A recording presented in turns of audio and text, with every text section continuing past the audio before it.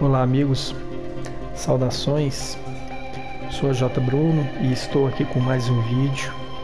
E neste vídeo eu quero apenas é, informar como se conquista o troféu Apex defensivo do Apex Legends.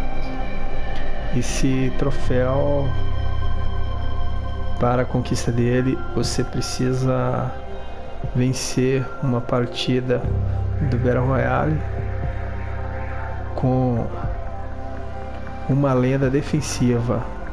Eu só vou falar quais são essas lendas para vocês saberem. Para quem não sabe, né, quais são os, os personagens da lenda defensiva. O primeiro é esse que está mostrando, é o Gibraltar. Você vencendo uma partida do Battle Royale com Gibraltar, você conquista, conquista o troféu Apex defensivo. E o outro é o Caustic. Esse personagem você precisa desbloquear ele, ir jogando e conseguindo as moedas necessárias.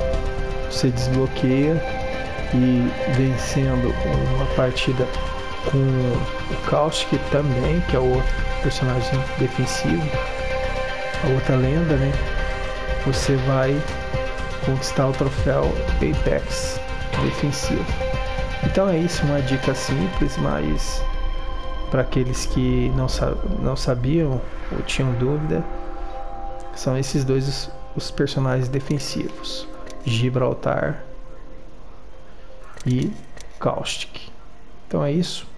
Obrigado, espero que tenha gostado. Se gostou, deixe seu like, se inscreva e obrigado mesmo.